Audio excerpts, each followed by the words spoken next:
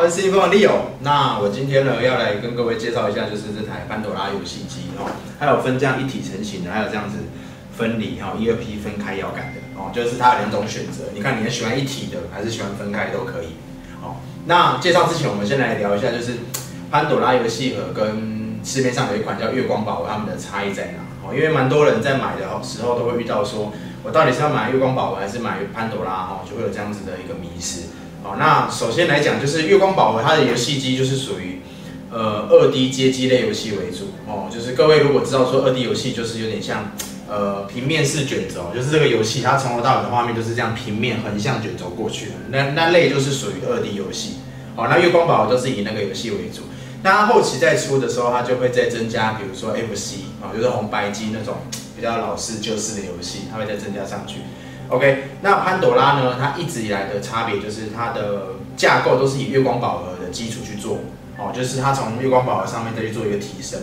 那潘朵拉呢？它的架构就是它会在硬底的部分，在核心的部分再去增加，哦，比如说如果月光宝盒用四核心，它可能就会用六核心或八核心，哦，就用比较高的核心。那它的运算啊，跟它的显示技术来讲，你都会往上拉，哦，就是让它可以去做不同模拟器的调校。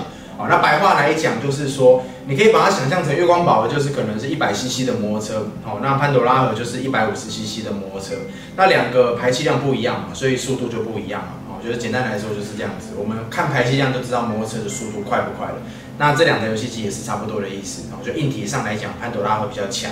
那潘朵拉呢，跟月光宝盒二 D 游戏的不同的点在于说，它因为它的性能比较高，所以它会增加不同的模拟器上去，好，比如说它会增加 N 六四。哦，DC 或者是 PSP 哦这一类的模拟器上去，那这一类呢就是属于三 D 的哦，是需要经过绘图引擎去去绘制一些游戏的一些内容，所以它需要更高的运算能力，它也需要更高的一个硬体的一个设备哦，所以潘朵拉的部分它就会可以跑这些东西。那为什么月光宝不能跑？哦，因为它的核心就没有到这个位置。哦，那为什么它不做呢？因为它市场上本来就会有区分，所谓的呃中阶或者是高阶，哦，会有这样子的差别。所以月光宝的定位一直都是在中阶的部分。哦，所以它就是只跑街机二 D 类平面平面的游戏。那潘朵拉就可以跑三 D 类的游戏。哦，两者上来说大致上是这样子。那除了这两个能跑的性能以外，当然它也会反映在它们的价格上面。哦，那以目前。月光宝的售价大概平均市场的的位置大概都在三千多块左右，好，那潘朵拉就大概就要四到五千了，哦，所以他们的价差会来到一到两千块，好，所以这一两千块就可以给它更多不一样的一个功能，哦，那你要怎么去选择呢？哦，我觉得各位可能就是在挑这类游戏游戏机之前，你就先想一下你主要玩什么游戏，哦，如果说你玩的就是呃。以前早期二 D 哦比较复古的那种怀旧游戏或者是街机游戏的话，那原则上原则上你选月光宝盒其实就差不多了啊，因为第一个它价格比较便宜，第二个就是街机类游戏基本上它要有的它都会有。OK，那潘朵拉适合就是你喜欢玩比较多元化的游戏，就是说你买这台游戏机你不会只是想要玩街机，你可能会玩想要玩。呃，N 六四啊，或者是 DC 啊，或者是 PSP 这类模拟器的游戏，好，甚至是它还可以跑 PS。那如果说你有对这类的游戏你有兴趣，或者是你可能会去玩的情况下，你再来考虑这一台，因为你可能会去玩，你才有办法说去拉高自己的预算啊，来到四千块、五千块左右去选择这台游戏机。那如果纯粹只是回忆怀呃回味一下以前小时候的一些游戏，或者是跟小朋友欢乐喜欢玩游戏，那原则上应该是月光宝的定位就差不多了，好，所以。到目前为止，这就是好两者两者选择的一个参考。OK，再来就是说，潘朵拉游戏机呢，它本身是可以支援四人游戏的。哦，那这个部分在月光宝盒来讲，就是早期的月光宝盒一直以来它定位都在中阶嘛，所以它都是以两人游戏为主。哦，那未来有可能会增加，但是潘朵拉的部分其实在这一两年出来的机种，不管是旧版新版，原则上它大部分都可以支援四人游戏。好，OK，所以喜欢四个人玩，喜欢多人同乐的情况下，当然潘朵拉游戏机会相对来讲会比较有优势一点啊。不过，呃，我这边有一个小小的建议，就是说，因为一直以来我观察潘朵拉的四人游戏来讲，一直以来数量其实都不多哦，大概就个位数而已哦，了不起就顶多十来个，其实真的不多哦。那真的会玩的也就只有一那那那几款而已，所以我会觉得你可能要评估一下，就是那些游戏到底适不适合。你你们就是如果你要找另外三个人玩，那这这一类游戏是不是你们会喜欢的？如果不会喜欢，我觉得以四人的部分去考两个人就比较需要就是在在谨慎思考，因为我觉得我自己觉得说四个游戏的数量太少，然后也不太会玩，所以有时候我就觉得说好像没有那个必要哦。但这只是给你参考啦，因为你要四个人玩，你还要再多买手把哦。那当然，我如果是我的观点，我会希望我买的就要常用常玩嘛。啊，如果说买了我发现哎我不会玩，那就得多花了那个钱哦。我就觉得这比较不不必要。OK，那再来就是说。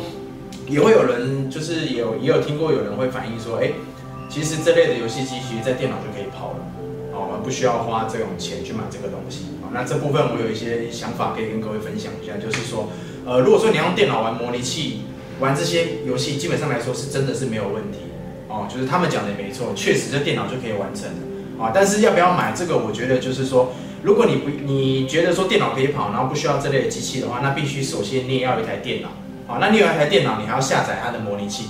那模拟器下载完以后，你还要再去下载它的游戏。啊，那下载游戏，如果你要用这个摇杆，这种格斗摇杆去玩，那你还得去买一个这个摇杆，连接电脑去做设定。好，那不是只有设定摇杆啊，包含模拟器的参数啊、按键的配置啊，哦，甚至游戏的路径你都要去设定。那当然，这些如果你有一定程度的电脑基础来讲，这不会很困难。好，但是这类的游戏机，它其实就是把这些困难的步骤，或者是不要说困难啊，这些复杂的步骤，它把它简单化，它把所有模拟器的参数哦，然后把游戏都下载好，路径都设定好，按钮、摇杆全部配线都拉好，全部整合在它的主机板里面，好，那变成你带着这摇杆的同时，你就带着游戏机了，哦，因为它全部东西都整合在里面，那你只要插电接到你的电视就可以玩，哦，所以所以所以说我觉得它会有这样子的一个差别在于，就是说，如果你觉得很麻烦，或者是说你觉得这样子其实也没差，那其实我觉得这类机器就会适合你。啊，当然，如果你是有电脑基础，你又会自己下载东西，你又不怕花很多时间去收集这些游戏，去收集、去设定这些模拟器的一些参数的话，那我觉得你就自己在家动手做，其实这样相对也是会省钱，因为毕竟一台也要三四千嘛。啊，所以说，当然来讲，就是看你自己怎么样去评估这个时间时间成本。那这种机型其实上至政治人物，下至平民百姓，其实蛮多人有的。哦，而且我看观察过，不是只有台湾啊。东南亚包含菲律宾、越南、大陆哦，美国甚至韩国、日本都有月光宝的这种潘朵拉这种游戏机都有在卖，所以你全球这样算一算，其实至少一定有卖到百万台啊！我觉得相信这这个数字绝对不夸张。好，那为什么会有有人要买？为什么市场会有这个供需？那就是一定是有人需要嘛，不然他不会卖这个东西嘛。好，那我的观点就是，我觉得呃。撇开价格，撇开功能不说，我觉得大部分人还是会在意的点就是，哎，版权这个问题，哦，这种比较敏感的问题。那就我自己的观点我来看，就大部分它的游戏其实都是差不多二十年前以前的游戏了，哦，所以说现在假设，比如说 N，我们举例 N 六四来讲，那 N 六四其实都停产这么久了，你现在有 N 六四的游戏机，它也算古董级了，哦，就更不用说更旧的街机游戏，可能我们二十年前我们在。干嘛屌啊？还是说在外面钓虾场玩的那种更旧、更旧的游戏哦？一九九几年的游戏，相对来讲，你现在也不太可能收集到它完整的一些版权哦。我并不是说就是版权怎么样，我只是我的观点就是认为说这些东西它本来就很难收集了哦。所以说有些人会觉得说啊，这都这游戏就没有版权什么什么之类的。那我觉得就是我们玩，其实我会觉得说我们。会买这种游戏机的人，大部分他的出发点想法都是回味啊，就是，呃，可能去回忆一下小时候玩的这些游戏的内容哦，反而不是说在于说这个游戏到底是版权怎么样哦，所以所以我觉得版权部分我们就不探讨。那就游戏机的部分来讲，我觉得哦，它的一些功能性跟它游戏的内容，我觉得相对来说还是蛮丰富的哦，也是可以就是给大家做一个参考。好，讲那么多了，差不多就到这边了。我们待会就直接来看一下，就是机器的一些外观的一些功能跟它的一些配置。那顺便给各位看一下它的一些游戏的内容跟它的画面，哦，你可以感受一下说这类的机器到底适不适合你。好，接下来我们来看一下它的一个机器的一个配置。好，首先我们看到这个是一体成型的机器。哦，一体成型的机器，它就是把一二 P 都做在一起。哦，一二 P 做在一起。那摇杆呢？哦，摇杆跟按钮的部分呢？它潘多拉部分是。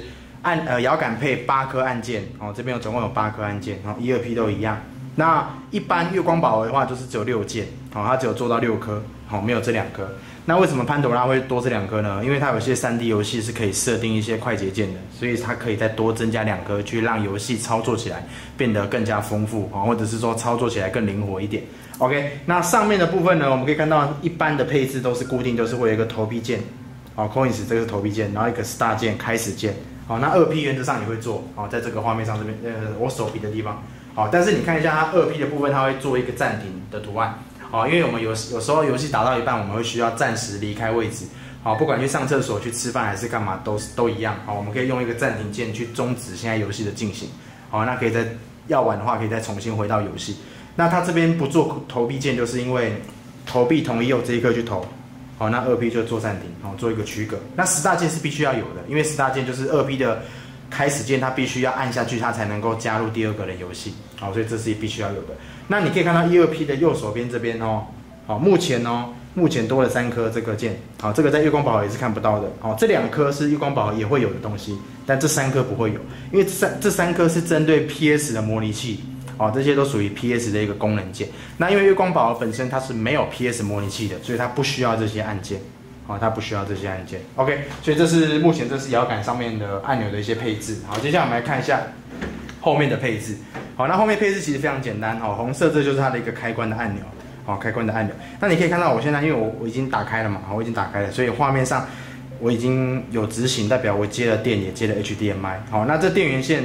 哦，应该蛮简单的，我们插上去直接接到我们的插头就可以了。好，那这台湾的机种是一百一十伏，当然它这个全世界都有，所以也会有分香港的啊，也会有中国的啊，有两百二的啊，好，也有美国、欧洲的都有。哦，这个的话就是看你跟谁买，它的配置是什么。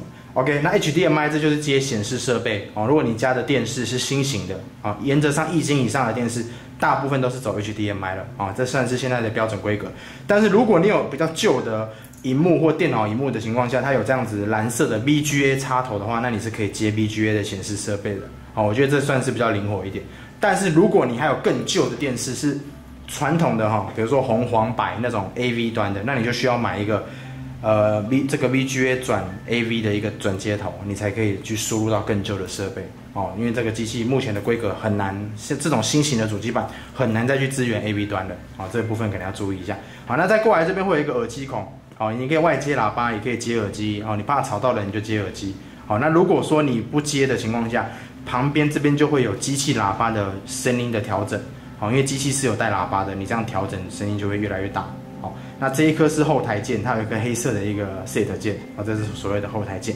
那这 USB 孔呢，就是让你外接手把的。好，如果你要第三个人、第四玩的时候，第三、第四人玩，你就接一个手把上去。好，从这边接上去。好，那底部的话呢，会有八个指滑垫。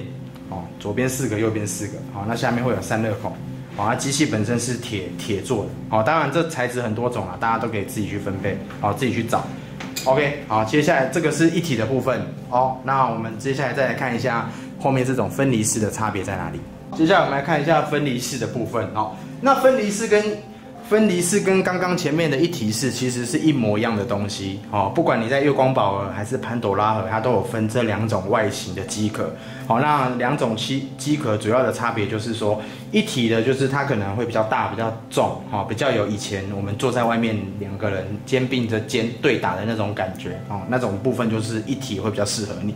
那分离的就是属于可能常态性都是一个人在玩，好，平常都一个人在玩，那你就可以只要。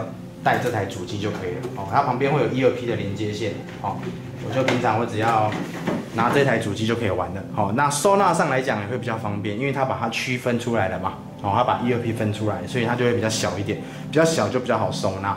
OK，那配置后面的配置呢，不管是上面的按钮啊，或者是说把呃这个摇杆跟这个按钮的部分都是一样的配置，都是八键哦，功能键，然后这些都是基本上都是一模一样的，哦，一模一样。的。好，那对了，忘了刚才忘记说，就是它有一个 turbo 键，就是连发哦，就是针对一些射击游戏，它可以按住，它可以自动连发。哦。这台也是有，哦，一体也是有，啊，只是一体的按钮就是坐在后面，哦，就坐在后台那边去做设定，哦，那这个分离式它就是直接有独立出来，好，独立出来，其实功能都是一样的，只是他们在设计上有一点不太一样，好，OK，那后面的部分呢，好，我先把这个转一下，好，各位在画面上应该还是看得到，好，就是。跟刚刚一样，它会有所谓的电源跟 HDMI，好，再就是 VGA，然后喇叭接口，然后音量调整、后台键跟 USB，还有开关，啊，完全是一模一样的配置，啊，但是它因为它分一二批所以它的主要的这些主机板跟功能它都会装在这一台，所以你要要玩的时候，你就必须要这一台拿出来才能够玩。好才能够玩。那如果说要第二个人的时候，你再拿出第二台，好，那你第二台你可以仔细看，它就不会有什么接孔了，好，不会有什么接孔。那二 P 也不用接电，好，它会有一个一二 P 的连接线，好，它会有一条一二 P 一二 P 的连接线，从侧面这边它会有一个这种好线材去让你去做一个连接，好，那当你把线接过去的时候，哈，比如说我现在先我先打开它，啊，现在亮灯了，好，现在是已经开机状态，好，这一台没亮灯，因为这台没有过电，好，但是它只要一二 P 接起来，它就会自动供电给它了，啊，自动供电给它。好，我把它接上去，好，接上去。好，接上去，各位可以看一下，它二 P 就亮灯了。好，亮灯的意思就代表说它也供电了。好，所以这条除了是让一二 P 做一个连线以外，也是做一个供电的动作。好，那有人会问说，那这台可会不会可以单独玩？哦，是不行的。哦，不行的，因为所有的主机它还是在这里，它不会因为说拆两个就有两张主机板，不会，它一样就一张主机板。好，所以我们可以简单来说，一体的就是中间有一张主机板，那分离的就是把中间的主机板装到 EP 上面去。哦，就是这样子。好，那它的好处就是它可以独立玩的时候不用拿二 P。好，那第二个好处就是它可以透过这条线把距离拉开一点。好，比如说我可以拉成这样子，哦，面对面。哦，我线只要把它打长一点，我就可以这样子面对玩。我就站在这边玩，另外一个人站在那边玩，那就不会有所谓的太挤的这个问题。那一体的话，相对就会有这个问题。不过有些人还是会喜欢一体，因为他喜欢肩并肩的感觉。好啊，这个就是有玩家自己去做一个选择。好，那大致上的外观介绍在这边，我们接下来就来看一下它的游戏画面跟它的游戏内容吧。好，我们目前已经把游戏机接起来了啊。那我现在用的是这个分离式的一个主机，好，因为它跟一体式基本上都一模一样，好，但是我就用分离式来做一个示范。好，那现在二 B 是有供电的，所以它是可以控制的，好，可以控制的。好，但是当然我我今天只要把一 P 的线拔掉，它就没办法控制了，哦，因为它电就断了。但是没关系，我们还是把它接起来。好，接下来 OK，那我们先来看一下它的最后一页，它的最后一个游戏是数字是多少？哦，左右是翻页，我们往左翻到最后一页，哦，它总共有两百四十五页，最后一个游戏的编号是二四四八，也就是说它有两千四百四十八个游戏。好，那潘朵拉的游戏的一个定位一一直以来都是三 D 加二 D。好，那我这是目前算是比较新的机种，它是一百多个三 D 加两千多个二 D，好，组合起来是两千四百四十八个游戏。哦，那月光宝盒的话，原则上大概都是在接近两千左右，好的位置，可能就会差个几百个游戏啊。那差几百个游戏，就是差三 D 类的游戏。OK，好，那我们来看一下它的分类的部分哈，分类的部分。那在月光宝盒的分类，它是分，比如说射击类、格斗类、益智类，哦，这样去分去做一个分类。那潘朵拉的话比较不一样，它是用模拟器去分类，因为它的模拟器比月光宝盒多。OK。好，我们现在往下看，我们可以看到这个叫做 FBA，好，这就属于 FBA 的游戏，好，那这就是大家不陌生的，比如说越南大战，好，或者是下面有一些，比如说格斗天王，哈，快打旋风，好，还有上面的这个格斗天王，好，格斗天王，这应该大家都知道，好，这就是属于 FBA 的。好，我们再往右切呢，哦，再来是 MAME 的模拟器，它也有格斗天王，哦，其实 MAME 跟 FBA 其实他们两个架构都差不多，哦，都是以街机的。主轴去做一个模拟，哦，所以这些内容你会发现它其实蛮类似的，啊，但是当然它有很多种游戏啦，它还是有很多种游戏，好，那你只要把只要移到移动到这个游戏放着，它就会有它的游戏的预览画面，你就可以去知道说它大概是什么样的内容，好，OK，我再往右切，再来是 PSP，好，那 PSP 就是比较偏向都是 3D 类的，你可以看到这个画面就可以知道。了，好，这这这类的游戏在月光宝就是完全没办法跑，哦，不是说它不能放。它放了也没办法跑，因为它的它的性能没没有到这个位置。OK，再来是 PS，好，这个应该大家也不陌生。好，PS，再来是 N 六四，好 N 六四，装备很多。好，然后再来 FC，好，就是红白机，好像那种热血系列应该是，应该现在有玩过的，应该大部分都生过小孩了，或者是三四三四十岁以上的啦，至少三四十岁了。OK，再来是。切过去，S S F C，好，那 S F C 的话比较偏向就是比较多类似过关的，或者是这种 R P G 类的，啊，超任的，啊，因为 S F C 这种游戏就是比较多是这种过关型。好，再来是 G B A，啊，小时候我们常常玩的 G B A，好，再来是 G B C，哦，如果有玩那个什么口袋怪兽啊，哦，神奇宝贝啊，应该也不陌生，哦，G B C，再来是 M D。好，MD 系列的，这些也都是蛮经典的一些老游戏。好，再来最后一个 PC，好，要再更久一点。哦，啊，对不起，还有一个 DC，啊，DC 的话，因为它的耗的资呃耗的硬体资源比较多，所以它的数量就比较少一点，好，就比较少一点。好啊，这一样都可以看得到它的右边的画面。好，好，再来就回到第一个 FBA，好，所以说它的分类来讲，它就是以模拟器去做一个分类。好，那月光宝能跑的原则上就是 FBA、MAMV，哦，跟少数的 F FC，好，少数的 FC，它就这三个架构。那潘朵拉就多了你刚刚看到的其他的这些架构，哦，就变成它的种类比较多。好，那他们的定位就是这样嘛，一个是中阶，一个是高阶嘛。那中阶就跑中阶的，高阶就跑高阶的。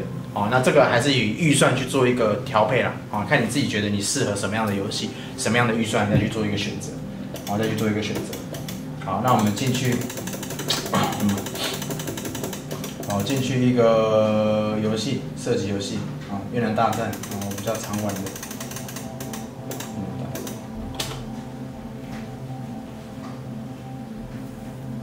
那进来以后呢，我们按一下开始键，好，好，EP 就出来了，好，EP 就出来了，好，那现在二 B 有接电嘛，所以我们按开始，啊，一样是可以把它叫出来，二 B，好，好，做一个选择，好，EP 我做一个选择。那目前你会听声音有点小声啊，刚有跟各位说，后面会有一个音量旋钮，可以去调机器的声音啊。那机器的声音只要走 HDMI，跟电视是同步的啊，所以我现在把它调大声一点。啊，你会发现声音变很大声啊。那电视的话也是会变大声啊，但是因为电视我现在调比较小，哦，我现在调的比较小一点，因为怕太吵哦。那原则上是可以一起调的啊。那这个机器也会有喇叭声音。那如果说你在家玩，想要它没有声音，它有声音，就把旋钮拉到低就好了。好，现在机器已经完全是没有声音的，但是电视还是有。好，那大小声是可以从这边去控制的。好，从电视上面去控制。OK，好，那我现在先做一个暂停的动作。好，今天我玩到一半，我如果暂时不玩，我就按下暂停键。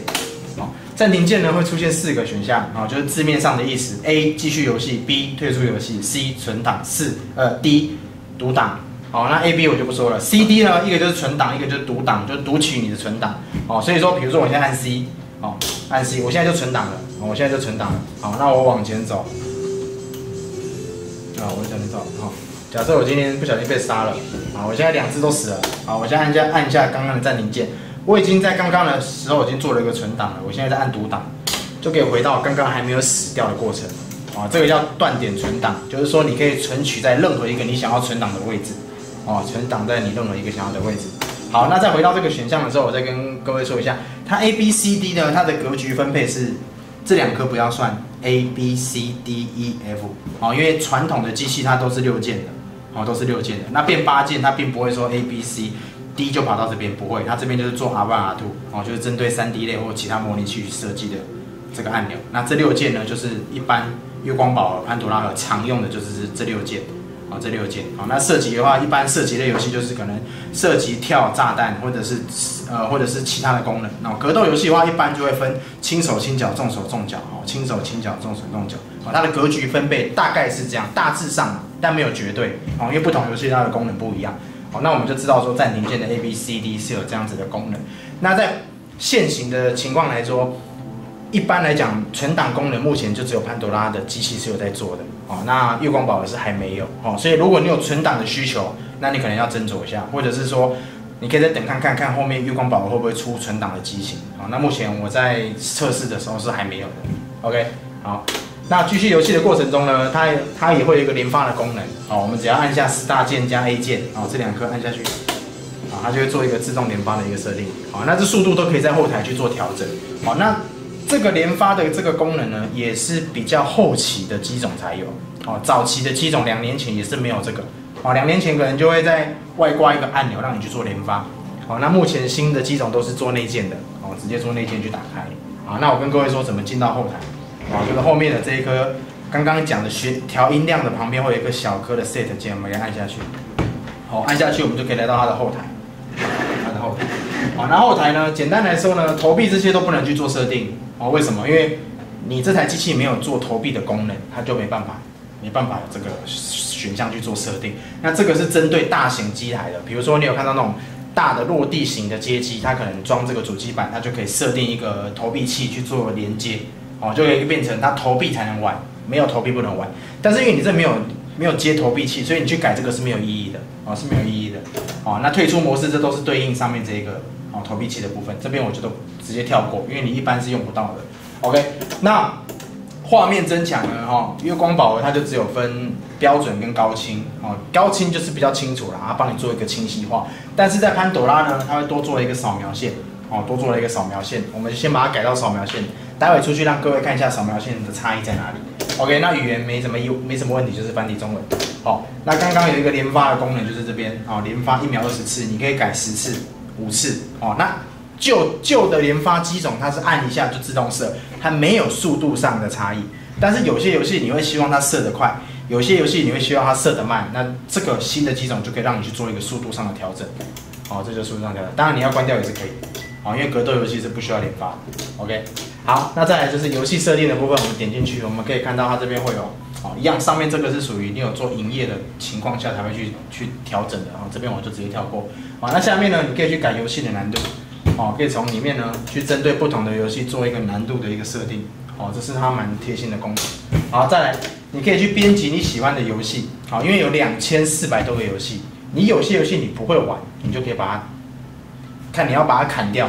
还是加我的最爱都可以，哦。那比如说，如果你把它加到我的最爱，哦，打上一个爱心，我的最爱，待会你存档以后，它就会在第一页出现，哦，它就在第一页出现。所以你如果加了二十个游戏，以后你开机前二十个游戏就是你加爱心的游戏，OK。好，那编辑游戏列表呢，就是属于另外一种方式。刚刚呢是加我的最爱，让它跑到第一页。接下来呢，编辑是让你去做一个隐藏，啊，我今天这个铁拳五，假设我完全不会玩。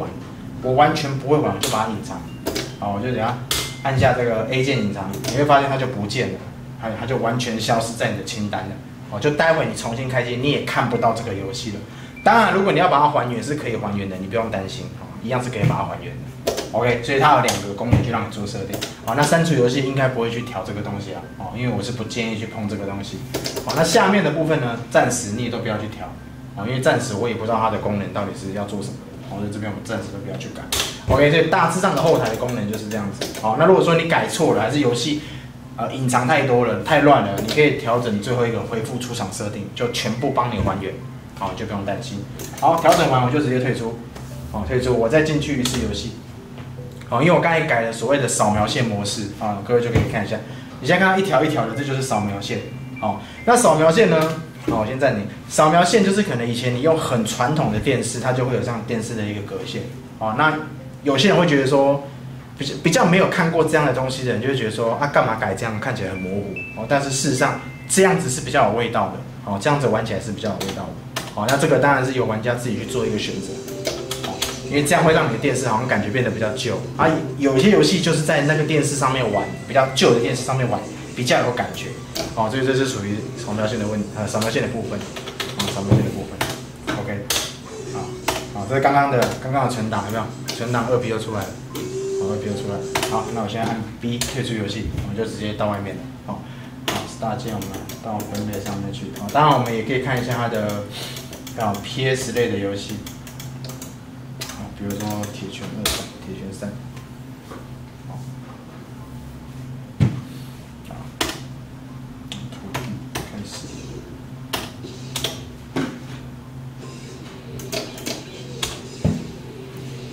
那基本上都是可以跑的啦，啊，就是它的它只要能装进去的游戏，大致上都都没有太大问题。好，那比较遗哦，我先暂停一下。哦，比较遗憾的就是说，呃，我这边是没有第第三个手把，所以没办法去帮各位做一个第三批的测试。哦，但是网络上都可以查到一些教学，它是没有太大问题，接上去它也是可以第三个、第四个人玩。哦，这个部分可以让各位各位可以自己去试一下。好，那其他的模拟器游戏我再去跑。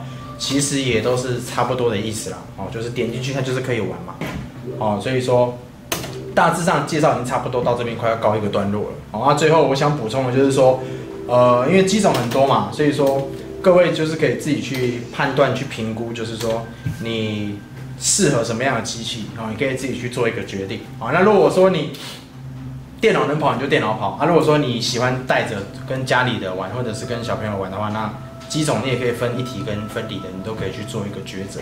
我觉得没有所谓的哪一台比较好哦，因为比较常会看到有人在选择上会有困难哦，包含机机壳要不要分开也会有选择上的困难。那我觉得其实你就跟着你的感觉走，你觉得哪一台适合你，你就选择哪一台就好了。OK，那最后我再带大家看最后一次它的模拟器的种类。好，依序有 N 六四，好红白机 FC，超任 SFC，好掌机 GBA，掌机 GBC，哦 MD 游戏机，哦 PC 的游戏机，DC 游戏机，哦 FBA 模拟器，MAMV 模拟器，PSP 模拟器，哦到 PS，好依序有这些模拟器，哦它的丰富度来讲是比较高的，哦丰富度是比较高的，好那。差不多了，就这样子。如果说还有什么问题，也可以留言问一下。那未来我当然也会锁定一些新型的月光宝盒还是潘朵拉这类的游戏机。好，反正我就是尽量帮各位去做一个呃分析跟去解释一下，大概它这这样的东西到底适合谁。哦，你们你们可以再自己去做一个决定。好，那我影片就到这里啦，拜拜。